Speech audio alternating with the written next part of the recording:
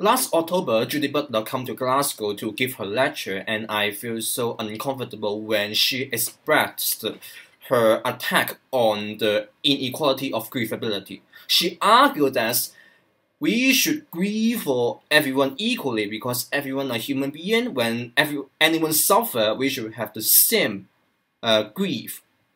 This idea is against the East Asian Confucian perspective because, according to Confucianism, it is natural to grieve for your close relatives more than strangers. Imagine your close relatives, say your father or your mother, and a stranger are drowning together.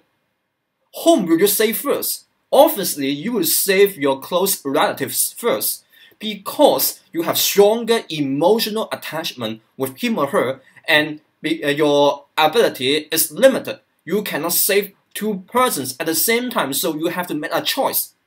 This is not an ideal situation, but this is inevitable. It is simply our human nature. Our human nature and our limitation leads to the inequality of grievability, which has rational ground. Of course, we want to love everyone. We want to achieve the absolute equality of grievability, love everyone, treat everyone as equally. But for Confucian, it is simply impossible. Confucian stop here. Other religions go further. For example, Christianity argue that with the help of God, we should promote universal love, agape. Uh, for Buddhism, they call for universal mercifulness.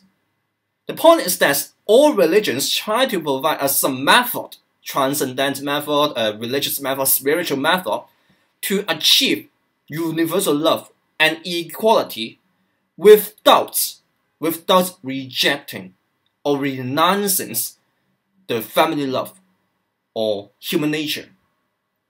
The problem of Butler and her followers is that they denounce the human nature and human limitations without providing us any method to achieve equality or universal grievability they never provide any method.